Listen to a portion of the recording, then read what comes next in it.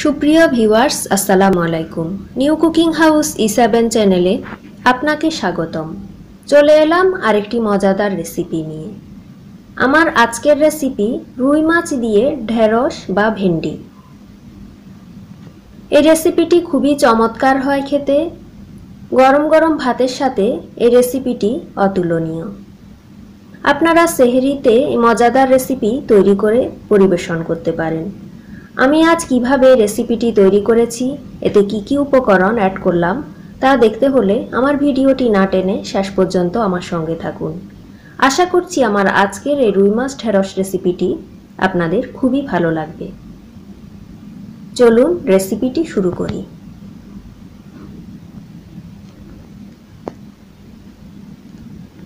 রেসিপিটি শুরু করার জন্য আমি এখানে নিয়েছি পাঁচ পিচ রুই মাছ মাছগুলোকে ভালো করে ধুয়ে পরিষ্কার করে নিয়েছি। নিয়েছি ঢেঁড়স। ঢেঁড়সগুলোকে এরকম বড় বড় সাইজ দিয়ে কেটে নিয়েছি। যেহেতু ঢেঁড়স সিদ্ধ হতে সময় লাগে না, তাই একটু বড় সাইজ দিয়েই কেটে নিলাম। এখন রেসিপিটি শুরু করার পালা। রেসিপিটি শুরু করার জন্য আমি প্রথমে এখানে মাছগুলো নিয়ে নিলাম। দিয়ে দিচ্ছি সামান্য পরিমাণ লবণ, হাফ চা চামচ। মাছগুলোকে ম্যারিনেট করে রেখে দেব। দিচ্ছি হাফ চা চামচ আদা পেস্ট। দিচ্ছি হাফ চা চামচ রসুন পেস্ট।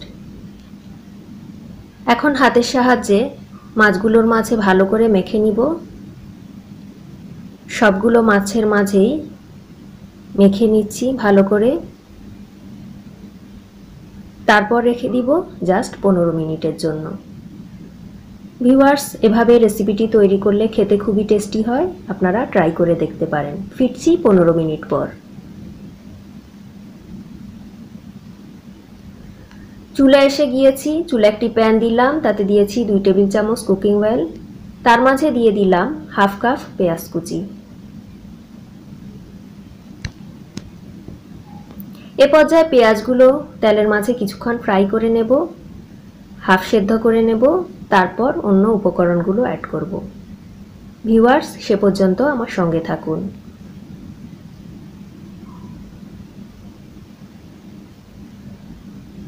পেঁয়াজগুলোকে কিছুক্ষণ নেড়েচেড়ে ফ্রাই করে নিলাম।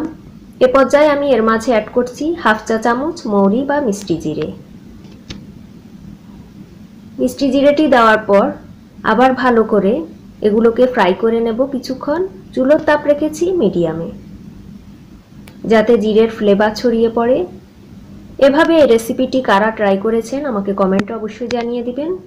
রেসিপিটি ভালো লাগলে প্লিজ আমার চ্যানেলটি সাবস্ক্রাইব করে বেল আইকন অন করে দিবেন। কিছুক্ষণ ফ্রাই করে নিলাম।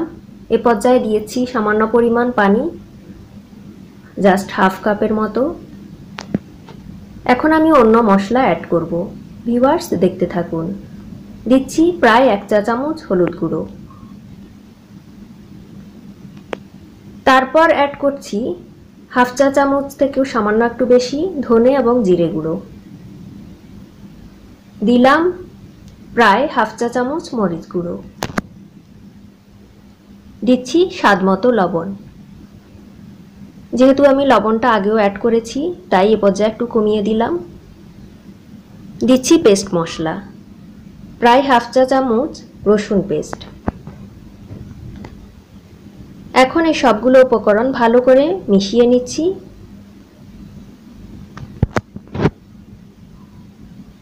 এ পর্যায়ে আমি মশলাগুলোকে কুক করে নেব জাস্ট পাঁচ মিনিট। ঢাকনা দিয়ে কুক করে নিচ্ছি পাঁচ মিনিটের জন্য। পাঁচ মিনিট পর ঢাকনাটি উঠিয়ে নিয়েছি।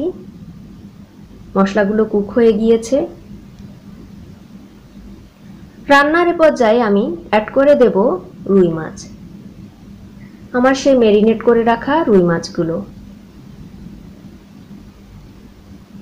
যারা এভাবে রেসিপিটি তৈরি করেননি, তারা আমার আজকের রেসিপি ফলো করতে পারেন। আশা করছি আমার আজকের রেসিপিটি আপনাদের খুবই ভালো লাগবে।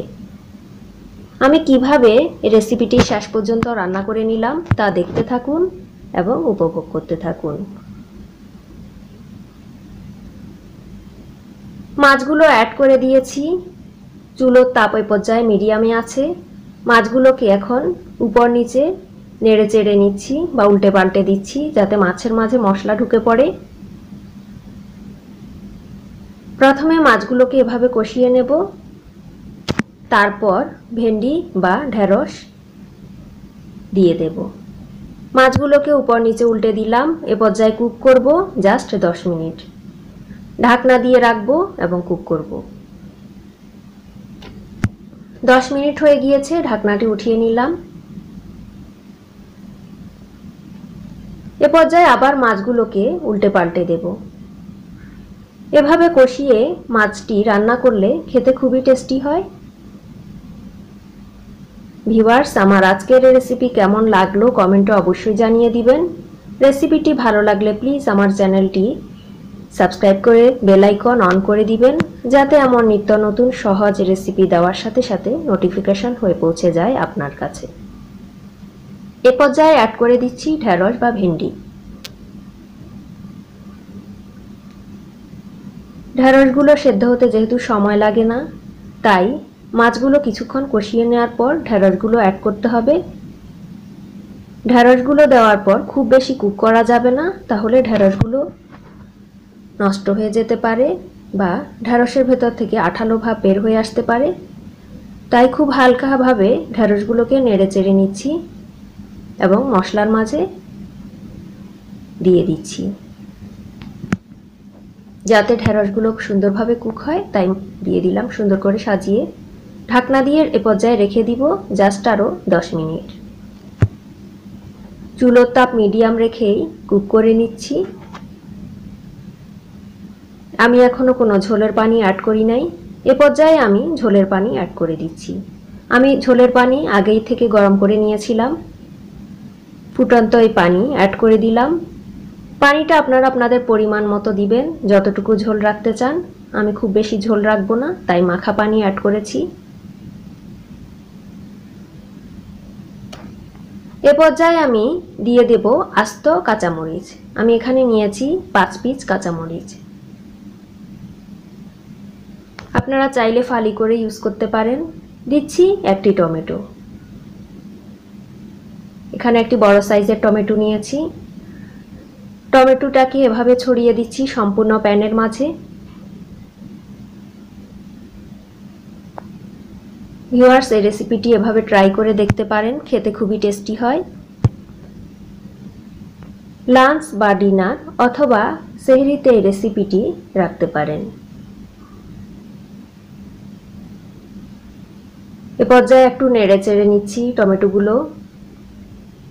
দেওয়ার পর ঢাকনা ছাড়া এ পর্যায়ে কুক করে নেব জাস্ট আরও পাঁচ মিনিট। চুলোর তাপ এ পর্যায়ে রেখেছি মিডিয়াম হাইতে রান্নার এ পর্যায়ে আমি অ্যাড করছি প্রায় এক চা চামচ ভাজা জিরে গুঁড়ো বা টালা জিরে গুঁড়ো। এটি জাস্ট ফ্লেভারের জন্য অ্যাড করেছি।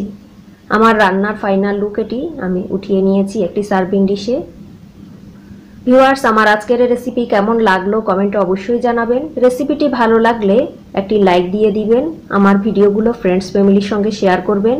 আজকের মতো বিদায় নিচ্ছি। আমার পরবর্তী ভিডিও দেখার আমন্ত্রণ রইল। সে পর্যন্ত সবাই ভালো থাকুন, সুস্থ থাকুন, নিরাপদে থাকুন। আল্লাহ হাফেজ।